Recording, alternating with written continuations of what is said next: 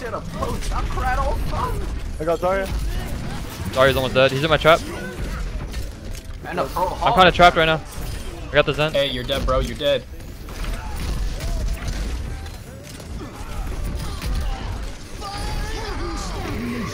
He's uh. He's...